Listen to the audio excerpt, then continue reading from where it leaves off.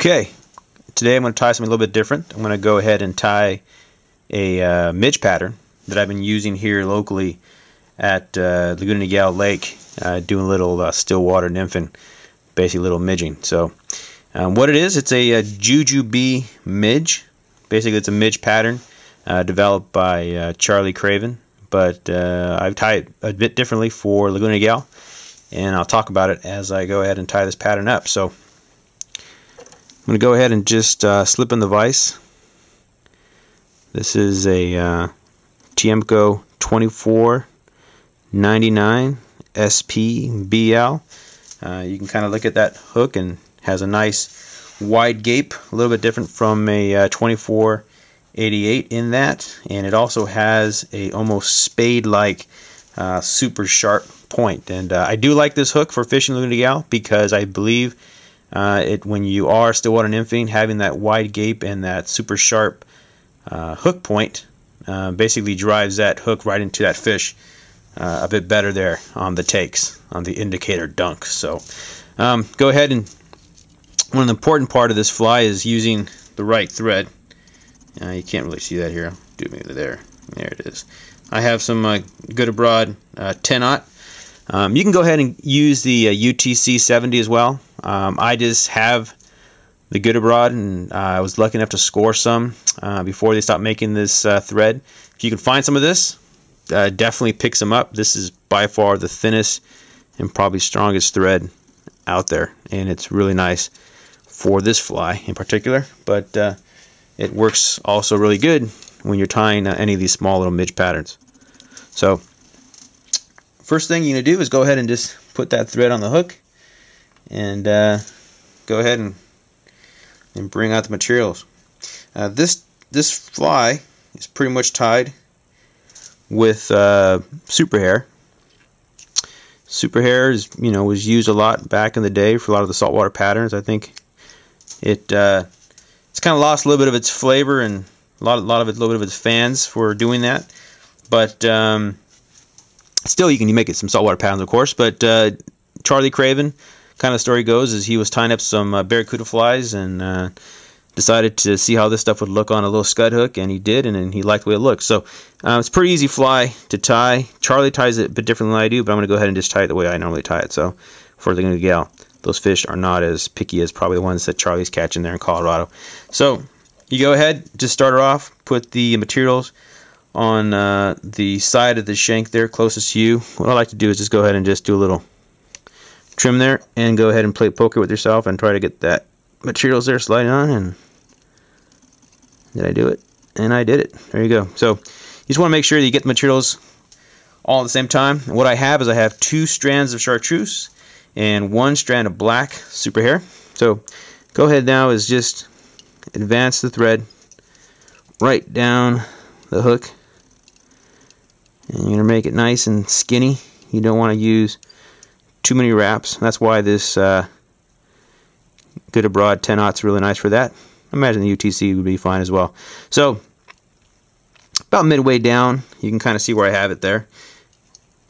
Along that scud hook, go ahead and your thread back to the uh, the bead. What I like to do now is is create a little bit of a taper here. So I just add a little more thread right in the front. Um, you don't want bulky midges. That's one thing that if you go to the fly shops, you will see a lot of bulky midges, um, which is the benefit of actually tying your own flies. Um, using that UTC 70, in this case the Gudebrod, you get some really nice skinny profile flies that I think are more realistic to matching the natural. So there you go. I've gone ahead and made a nice little thread base and taper there. And I didn't count my threads I know some guys like to do that, and I think that's madness. Just one taper. That's all I want. The trout care how many threads and how many times I wrap this thing, I, I doubt it. Okay, this is kind of important stuff, though. Um, you would think that you want to go ahead and, and wrap it basically like that and just wind up the uh, the hook shank. That's not actually the best way to do it. I mean, you can. I don't think the trout really care. You'll you'll end up with a, with a couple odd odd looking wraps when you do it that way. Um, the way Charlie Craven likes to do it, uh, he likes to um, go ahead and, and start it off with more of a uh, perpendicular type approach, and then by doing that, he can keep all the uh, the black uh, perpendicular to uh, the hook shank, which makes it in his way just look better. I don't think the fish care, like I'm saying. Um, one thing that I would recommend though is you do is go ahead and and do a little whip finish right there to keep the uh, thread close to the to the bead. And we're going to go ahead and now I'm going to try to wrap this material up without making too much of a mess. So again, start off, start it up straight like that. There, and you just catch it with one finger. Bring back again. Straight again. Watch that hook point. There you go. It's looking pretty good. Straight up again. Watch that super point. Um, if you do end up nicking that super hair, it's not like thread where it's going to break. The This material is pretty pretty tough. So again, just wrapping it up. One thing that I will I have to test attest this super material looks very translucent in the water, which I think is a very good quality for midges. And I think that's the reason why I prefer this using just black wire and, and green thread. So there you go. I've created a nice little segmented midge. Now I'm going to go ahead and just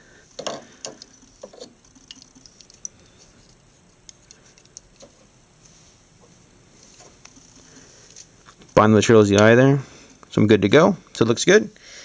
Go ahead and just do a little snip snip. Perfect. Midge is looking good. Um, next, come through with a quick little whip finish behind the eye. Easy, easy. And you're good. Another thing you do now is I like to do is I like to coat my flies with a bit of Zap-A-Gap. Um, some guys like to use epoxy and that works as well. But I, I find just using a little bit of Zap-A-Gap and using a little bodkin here really gives a nice shine to the fly and it definitely strengthens it up. You can use super glue. Um, I've definitely had better success using Zap-A-Gap and I think one of the key things here that you need to do is is definitely use it on a bodkin. Don't try to use the brushables. I think you overdo it and it becomes one of those things where eventually the fly will turn kind of white. So there it is. It's Laguna Niguel, what I'm calling a Juju Beach, Juju Bee Midge, uh, Laguna Niguel style, uh, Stillwater nymphing. Like I said, uh, nicer uh, wide gape hook, um, nice translucent uh, chartreuse in black, which has done really well there at, in Laguna Gal, in the, especially in the afternoons. And uh, small little fly there to match some of those naturals that come off there. Uh, typically in Laguna Gal, I think uh, size 18 and 16 is definitely the fly of choice. So thanks for watching, and happy fishing to you. Bye.